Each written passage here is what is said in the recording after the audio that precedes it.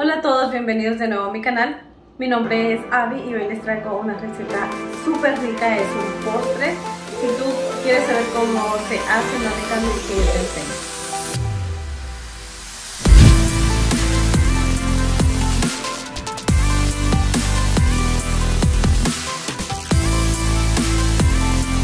Ok, para esta receta vamos a necesitar dos tazas de cerezas y aquí ya les quité la semilla y están por la mitad. Una caja de este pan que tiene que ser amarillo. Eh, ice cream de vainilla o de cualquiera. Una taza y media de agua. Un cuarto taza de um, cornstarch. Una cucharadita de vainilla. Eso lo vamos a usar hasta el final. Y acá tengo dos cucharadas de jugo de limón. Acá tenemos el agua y le vamos a poner el cornstarch acá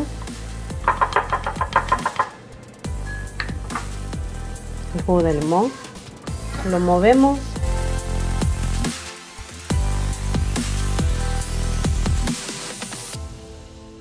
Que no quede ningún grumo. Para mientras vamos a poner también el fuego fuego medio y vamos a poner nuestras cerezas en el fuego.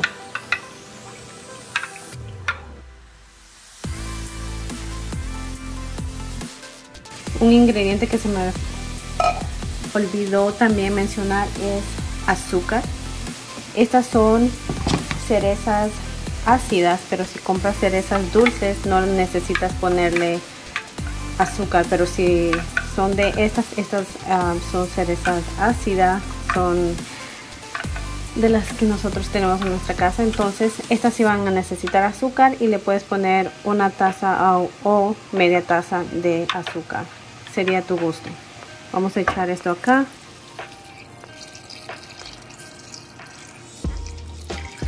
El limón es necesario para que el limón no, no haga que la cereza cambie de color.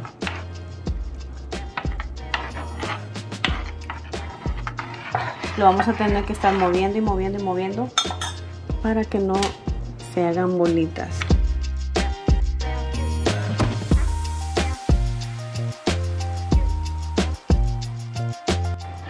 Vamos a echar el azúcar.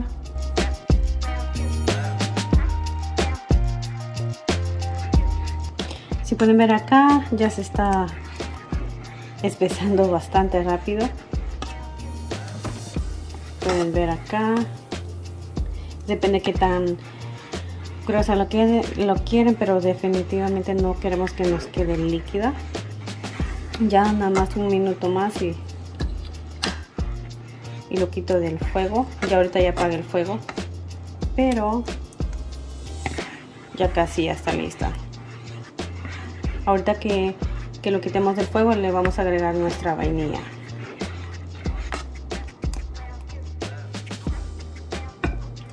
Aquí la voy a poner a enfriar acá y aquí le voy a echar la vainilla. Porque si la dejo aquí en esta ollita va, se va a seguir cocinando y no, y no quiero.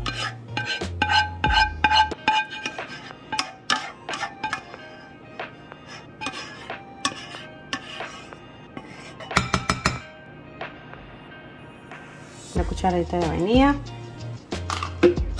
y lo movemos.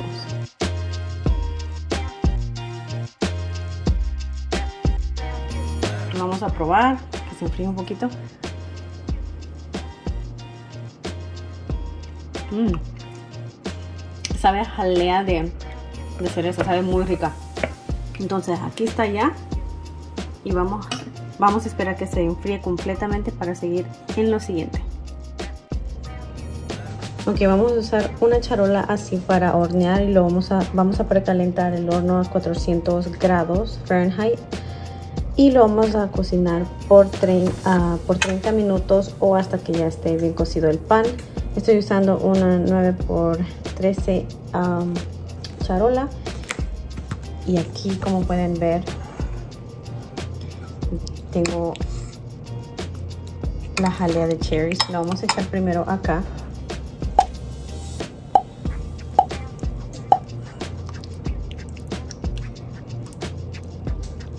Yo sí le eché un poquito de aceite de spray en la parte de abajo por si se llega a pegar.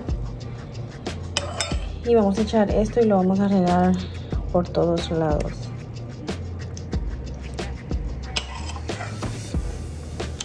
Vamos a necesitar una barra y media de margarina sin sal y la vamos a necesitar derretida para echársela también acá ok y ahora de vamos a usar lo que trae adentro y tiene que ser amarillo. Y se lo vamos a echar acá despacio. Así como está no tienen que echarle ni huevo ni nada. Así como está en la bolsa se lo vamos a echar acá ok aquí nada más lo vamos a poner así para que quede igual por todos lados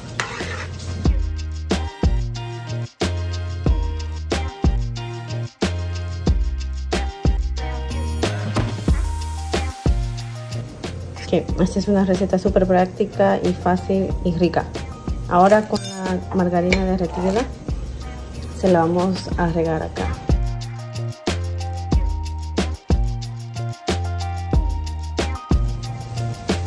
Y así como está la vamos a meter al horno.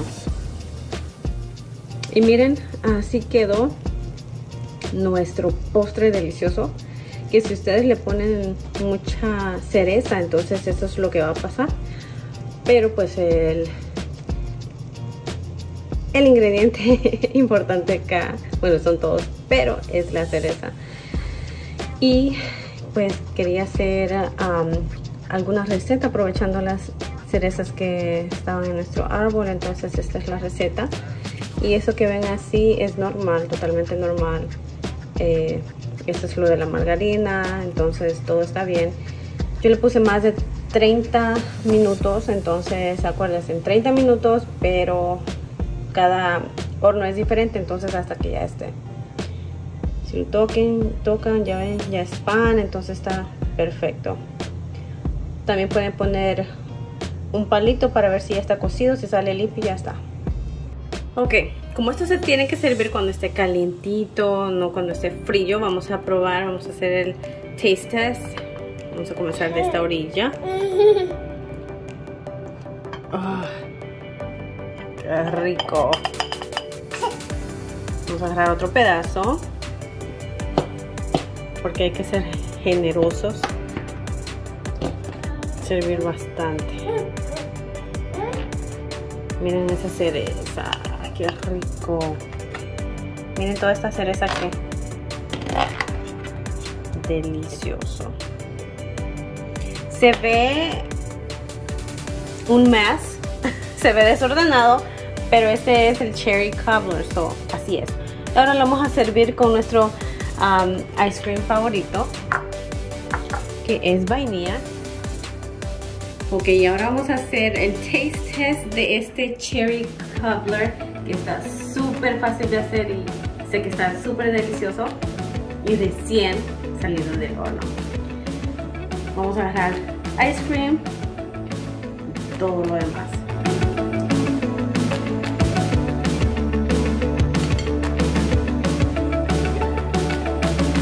Provecho. Espero puedan hacer esta receta porque les va a encantar.